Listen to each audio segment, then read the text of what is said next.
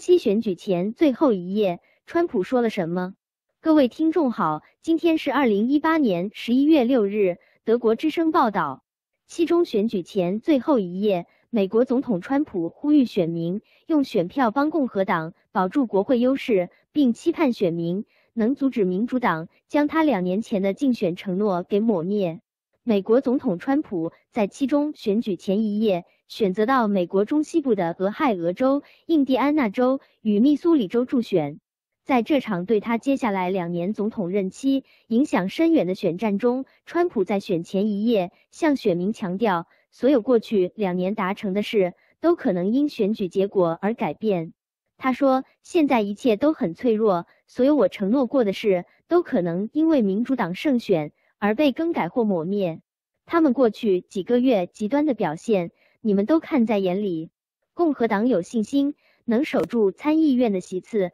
但他们在众议院将面临民主党的强势来袭。根据美国媒体 Vox 媒体分析，民主党想赢得众议院的话，需要赢得至少二十三个现在属于共和党的席次。美国智库布鲁金斯学会认为。民主党在这些传统上偏共和党的选区内，需依赖中间候选人，而非立场鲜明的自由派候选人。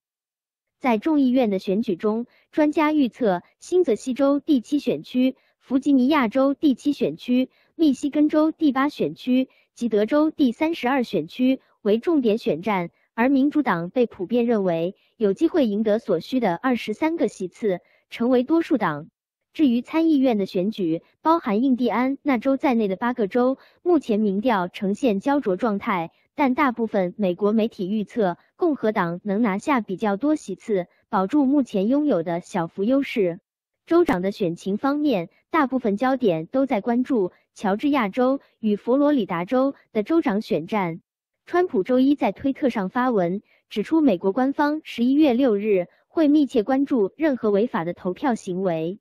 此前，他曾在二零一六年大选后指出，有上百万无效票被纳入计算，让他输了总票数，但他却无法提出证据来支持此论点的可信度。他也试图将自己与共和党众议院败选的可能性做切割。他在上个月与美联社的专访中指出，他拒绝因为共和党败选而被批评。他也在一场造势活动上强调，此次选举是对他两年任期的考察。他说，媒体把这场选战看作是对我还有我们的政治主张进行公投。在推特上，川普近期不断强调，若民主党胜选，美国将因大量非法移民涌入及升高的犯罪率而陷入混乱。他不断将焦点转移到在美墨边境的中美洲难民潮。试图透过充满种族色彩的言论来激起共和党选民对选战的兴趣。对于川普的支持者来说，虽然民调显示有百分之五十二的美国人不认同川普任期内的表现，但他们希望能如同二零一六年总统大选一样，跌破外界的预期，赢得选战。此外，他的支持者也希望能将川普的想法转化成未来数十年。主宰美国政治的潮流。一名来自密西根州的选民说：“所有我们二零一六年投票支持的论点，都有可能在二零一八年因这场选举而被改变。”以上是明镜广播电台整理报道，谢谢收听。建议习大帝可以从哪儿走？各位听众好，今天是二零一八年十一月六日。自由亚洲电台发表一篇傅申奇的评论文章，以下为评论内容。我不止一次的讲过，习大帝不知道自己究竟要干什么。习大帝最近的一系列言行，更进一步证实的确如此。习近平借这红二代群体收回落入平民官员手中权力的急切心理，借助民众对贪污腐败的普遍憎恨。大张旗鼓干掉了一大帮手握大权就忘了自己身份的平民家奴官员，以反腐败的名声赢得了不少掌声，又通过设立一大堆小组，把所有权力都囊括到自己名下。然而，越来越集权的习近平，除了叫嚷虚无缥缈的中国梦，拿不出真家实火的振兴方略。用“利令智昏”来形容几年前的习大帝，真是恰如其分。而他以其昏昏。使人昭昭的恣意妄行，带来了无以言表的恶果。用压力山大来描绘今天的习近平，一点都不为过。正当习大帝为自己定于一尊的地位奋力拼搏的时候，也算红二代大哥大之一的邓朴方，九月份在残联讲话，只字未提习近平的新时代和习思想，而是含沙射影的说：“我们一定要有实事求是的态度，保持清醒的头脑，知道自己的分量，既不妄自尊大，也不妄自菲薄，坚持立足国情，从社会主义初级阶段的实际出发，谋划一切工作。不知道自己的分量，妄自尊大。”这话套在习近平的头上刚刚好。习近平背过一长串文艺复兴后许多名著的书单，显然是自欺欺人，因为在他的言行举止里看不到一丝的文明气息，倒是看到他拿着几十年来中共从压榨百姓和从占世界经济体系便宜得来的财富，摆出了一副土豪金的嘴脸。他推出习核心，拱出习思想，就搞不清自己的分量了。渴望到世界上当老大，不讲究韬光养晦，而处处咄咄逼人，抛出“一带一路”，满世界撒钱，挑战既有世界经济秩序。主要考量是控制沿线沿路国家，过一把老大的瘾。于是有了“厉害了，我的国”、“战狼二”之类自我陶醉的宣誓，结果招来了以美国为首的世界文明民主国家的群起反击，四面楚歌。为了外交突围，竟收敛了钓鱼岛之类的爱国鼓噪，急匆匆的把日本高耀旗插满了天安门广场。但显然无济于事，又选在美国送糖果的万圣节，要求宇川普通话送糖果，同时打肿脸充胖子，告诉民众是应约通话，虚假的利好，使缺心眼的股市又发了一飙。骨子里是毛粉的习大帝，不知如何面对前后不同的三十年。只想不矛盾拿来用，但揣摩上意的吹鼓手扔出消灭私有制和民营经济退场论的炸弹，又炸出了习近平在红二代圈里，在中共领导层里不知道自己的分量、妄自尊大的尴尬。九月间，马云宣布提前退休，引起舆论哗然。民营企业家忧心忡忡，消灭私有制的鼓噪和吴小平的私营经济退场论迅速引爆恐慌。民营企业家仓皇出逃，纷纷关门大吉。深圳日报的广告版面都不够了，难题摆到台面上，习近平不得不面对。马恩在共产党宣言里明确宣告，共产党人可以把自己的理论概括为一句话：消灭私有制。毛粉习大帝恨不得喊出这句话，但真实的中国至二零一七年底，民营企业超过两千七百万家。占企业数的百分之九十以上，个体工商户六千五百万户以上，私企和个体仅注册资本就超过一百六十五万亿元，百分之五十以上的税收，百分之六十以上的国内生产总值，百分之七十以上的技术创新成果，百分之八十以上的城镇劳动就业，都来自民营企业。二零一八年已有二十八家私营企业跻身世界五百强。面对现实，习大帝最终怂了，不敢做男儿了，不敢做真正的共产党人了，把消灭私有制这句话咽到肚子里去了。习近平九月二十七日在辽宁，十月二十日在信中，十月二十四日在广东，十一月一日在民营企业座谈会四次表态，民营经济重要，不能走。在座谈会上，更是肉麻的说。民营企业和民营企业家是我们自己人，自己人这个没有任何法治观念的黑社会说辞，无法让明白的民营企业家安心。只要民进党没有明确宣告抛弃台独纲领，民进党政府的任何举措都会被怀疑有台独嫌疑。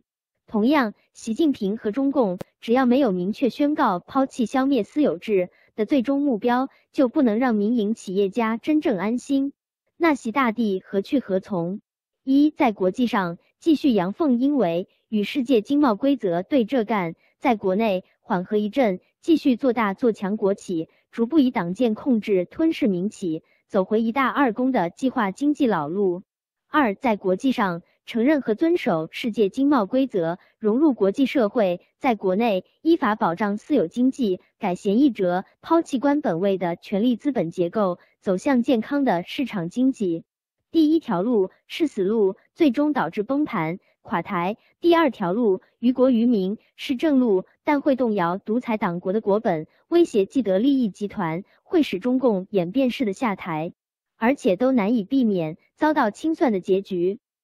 我想提出一揽子解决中国的走向、两岸统一、避免党国要员及其家族子孙遭清算厄运的第三条道路。那就是弥补毛泽东修改国号的遗憾，恢复中华民国国号，实施中共参与制定的四六宪法，趁着还有一大帮被洗脑者的支持，举行全国大选，拿下一轮或几轮的执政党位置，以两岸统一、经济振兴的丰功伟绩，争取拿到全民放弃清算中共的法律保障。这难道不是于国、于民、与中共、于世界和平最有利的一条道路吗？文章只代表特约评论员个人的立场和观点。以上是明镜广播电台整理报道，谢谢收听。澳大利亚与中国关系逐渐解冻中。各位听众好，今天是二零一八年十一月六日。澳大利亚广播公司报道，对澳大利亚的驻华外交官们来说，一周来的形势都相当不错，而这样的情况并不多见。不仅澳大利亚贸易部长西蒙·伯明翰首次正式出访上海，外交部长玛丽斯·佩恩也宣布将访问北京。这些举动解除了中国政府将部长级活动冻结长达一年的措施。澳大利亚那些知名部长们的定期出访之旅曾经很常见，但过去两年来，这些旅行都遭到延期、取消或缩小访问规模。这是由于中国对澳大利亚指控中国共产党在澳洲的影响力感到愤怒，而导致其推行了让澳大利亚陷入困境的一项非官方政策。中国的外交官不断提醒澳大利亚的外交官们，澳大利亚必须纠正其行为。澳大利亚的外交官们则被迫承受这样的压力。澳大利亚的媒体也受到中国当局的特别关注。澳大利亚广播公司的网站因涉嫌违反中国非常广泛的审查法而被屏蔽。据来自一家总部设在北京的澳大利亚企业的消息称，最近至少有一家中国公司被勒令暂缓在澳大利亚的新兴投资。到头来，对在中国首都的澳大利亚人来说，那真是一段冰冷刺骨的岁月。因此，为何澳大利亚政界对本周一位外交部长的出访感到兴奋，就可以理解了。而这次访问可能会成为两年一次的例行访问。在中国官方媒体上和通过澳大利亚商界显示的情况，均表明外交关系解冻的原因都显而易见。北京对澳大利亚政府的做法感到满意。澳大利亚政府不再像前总理马尔科姆·特恩布尔那样，在围绕新推出的外国干涉法展开辩论时公开点名指责中国。这并不是说两国在政治观、南海问题及中国的扩张性外交政策上的所有分歧都消失了。实际上，伯明翰先生本周在上海也承认了这一点。但在面对与美国的艰巨贸易战时，中国现在似乎愿意。将这些分歧搁置一旁，澳大利亚各企业从中受益。澳大利亚的各家企业都松了口气，尽管没有几家企业的有形贸易因为外交争端而受挫。澳中商会于本周在北京进行的一项新调查显示，尽管中国的经济正在放缓，但三分之二的公司对在中国经济上进行更多投资表示乐观。像 Swiss、澳家宝。A 二牛奶以及自由食品这样的企业都被习近平主席新许下的承诺所鼓舞。习近平承诺说要增加对中国这一广阔市场的进口。澳大利亚的医疗公司及教育机构则希望看到承诺取消在中国的这些行业中外国股本的上限。批评人士指出，中国领导人在历史上曾经承诺更加开放。同时保持了在各种主要经济体中最具保护主义色彩的国内市场，但是习近平费了不少力气，才于本周在上海举办了大型进口博览会，竭力强调中国将继续开放。假若他能真正坚持到底，澳大利亚的企业现在肯定会感到信心更足一些，因为他们能够利用这个机会。以上是明镜广播电台整理报道，谢谢收听。习近平进博会开幕讲话：重国家轻市场。老生常谈，了无新意。各位听众好，今天是二零一八年十一月六日。德国之声报道，作为对中美贸易战的回应，中国举办了国际进口博览会，以展示该国开放市场的决心。与此同时，也有经济学家指出，中美贸易冲突的实质是两种不同制度的争端。实施改革开放四十年后的中国，目前正面临一项历史抉择。同美国的贸易争端愈演愈烈，甚至有可能演变成一场新冷战。这是一场两种制度之间的战争，及西方自由市场经济与国有经济占主导的中国模式之间的战争。周一，国际进口博览会在上海开幕之际，中国党和国家领导人习近平极力要把自己描绘成世界自由贸易的先锋。但纵观其演说内容，却丝毫没有任何可以缓解中美贸易争端的具体改革方案。习近平再度强调，我们切实有诚意开放中国市场，但是欧盟驻华商会则表示，欧洲在华企业对这类只见言辞不见行动的空洞承诺早已厌倦了。本次上海进口博览会本身恰恰说明，政府对各行各业的干预程度超过了以往。有鉴于同美国的贸易争端愈演愈烈，中共领导层下令组织了这场宣传意味显而易见的盛大活动，目的只有一个，那就是要展示中国拥有非常开放的市场。中国在努力加大进口产品数量，来自一百三十个国家的大约三千六百家企业参加了本次截至周六的博览会。四十年前开始实施的改革开放政策。促成了中国史无前例的经济腾飞，但许多外国商家抱怨说，中国近来正在走回头路。德国驻华大使葛策和法国驻华大使李想均认为，中国已经到了实施大胆改革的时刻。德法两国大使在经济类期刊《财新》联合撰文指出，在改革开放政策启动四十年之后。中国因为这一政策注入新的活力，为外国企业提供新的政治和经济推动力。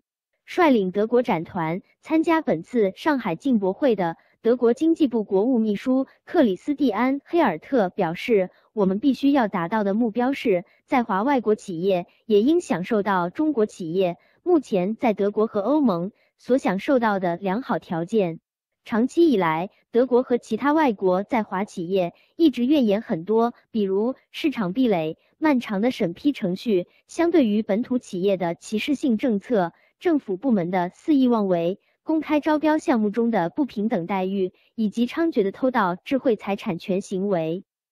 欧洲人的上述抱怨虽然和美国人完全一致，但是对于美国总统川普单方面实施的惩罚性关税措施，欧洲人则并不认同，他们更希望在世界贸易组织的框架内采取制裁中国的共同措施。川普总统已经对中国输美产品的一半实施了特别关税，并发出对所有中国产品实施惩罚性关税措施的威胁。上周，中美两国领导人通了电话，此举被普遍看作是双方贸易争端激化以来的一项进步。中美两位首脑表示，他们将在本月底布宜诺斯艾利斯举行的二十国集团峰会期间举行会晤。要么是习近平不愿意在中美首脑会晤前露出底牌，要么就是他完全没有做出妥协，推行真正改革的意愿。总之，他的开幕讲话完全是老生常谈，了无新意。他说：“中国愿意扩大进口，提升国内消费，减少进口限制，改善市场准入和智慧财产权保护。”但他在讲话中只字未提同美国的贸易争端，只是泛泛的批评了世界贸易中的单边主义。这显然是针对川普的美国优先政策。美国驻华商会主席扎利特认为，中国已经在做出一些审慎的让步，但距离中国开放市场。还有很多工作要做。至于中国是否会进行必要的实质性改革，为双方营造出公平互利的贸易关系，我们拭目以待。我们希望中国会这样做。两位著名的中国经济学家认为，中美贸易争端的背后实际上是一个体制问题，是大肆宣传的官方中国模式造成的必然结果。北京天泽经济研究所的盛红说：“只有真正的改革开放，才是中美战略合作的保障。”他表示，只有一个拥有共同价值观、朝向市场经济、法治国家和民主化方向发展的中国，才能在战略层面上被美国所接受。经济学家张维迎认为，中国之所以取得如此成就，是得益于在德国等国家取得广泛成功的普世模式及自由市场经济、富有创造力的企业家，以及对西方国家技术成果的吸收。张维迎对中国模式论者提出批评。中国模式论者认为，中国的成功得益于强有力的政府、体量庞大的国有企业以及政府英明的产业政策。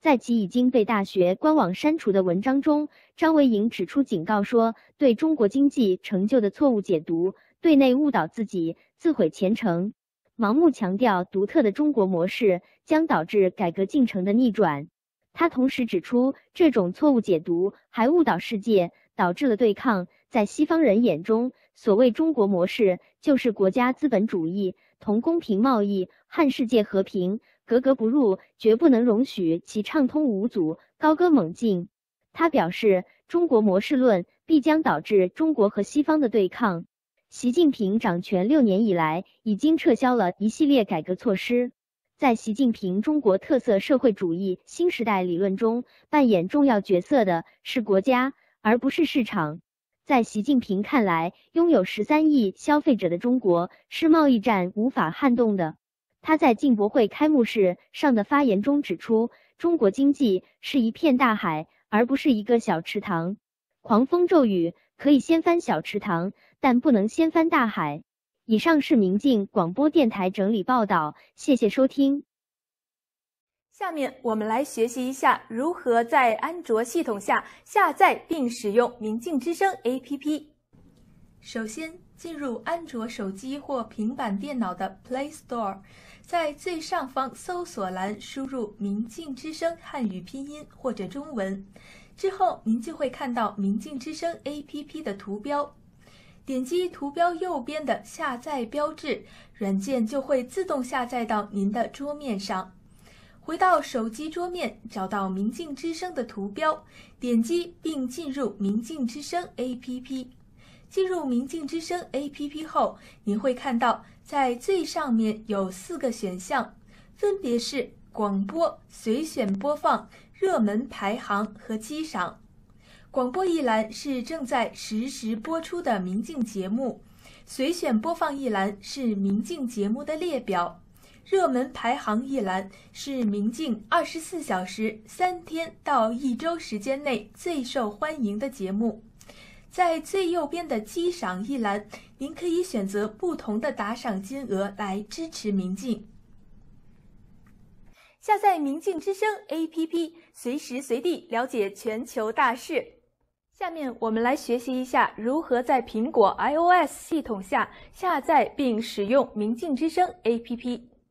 首先，进入您手机的 App Store，也就是苹果应用商店，在搜索栏输入“明镜之声”汉语拼音或者中文，之后您就会看到明镜之声 APP 的图标。点击图标右上角的云状下载标志。软件就会自动下载到您的手机桌面上。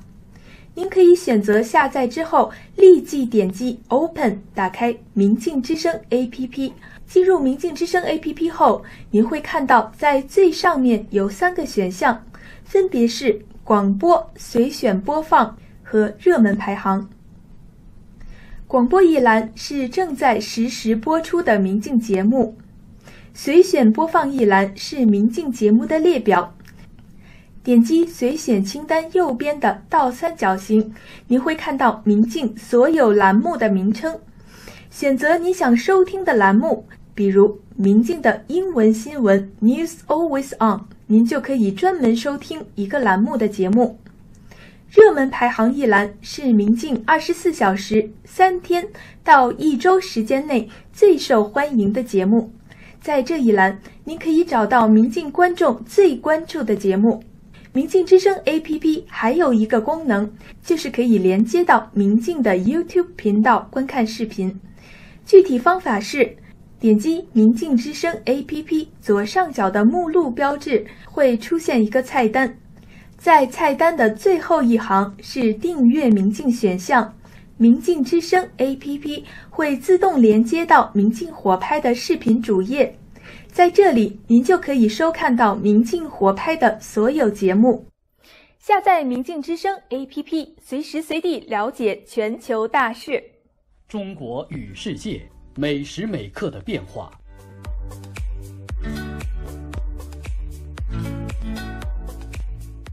随时随地可以听到。请您立即下载明镜之声 APP，您的随身收音机。